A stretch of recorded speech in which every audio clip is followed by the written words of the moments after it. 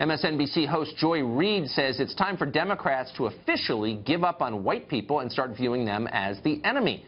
In a recent podcast, Reid says that instead of trying to win back millions of white voters who backed Barack Obama and then voted for Trump, Democrats should simply give up on them and focus only on the votes of minority groups. Listen. Democrats have all of these things that they want to do all at the same time. They pine for the Trump voter who they think they can somehow talk into not being for Donald Trump.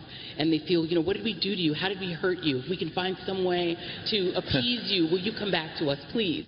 I do know that if you needed 77,500 people, it's a lot easier to get 50,000 black people in Philadelphia, Detroit, uh, and Milwaukee than it is to figure out what is in the minds of those Obama to Trump votes. There's a lot here, but notice first how Reid's entire speech is framed in terms of political expediency. Struggling white people voted for Obama in big numbers because they were hurting and hoping someone would help them.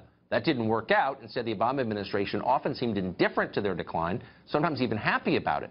So, still hurting, they turned to Trump. Reid's view is, in effect, oh, well, the jig is up. We don't need their support anyway. It's not worth looking at why they're miserable or why they're abandoning our party. Reid's statement is also zero sum. Her view is that in America, you can't help minority voters and white voters at the same time. Their interests are opposed to one another. America isn't one nation. It's simply different racial groups struggling for supremacy.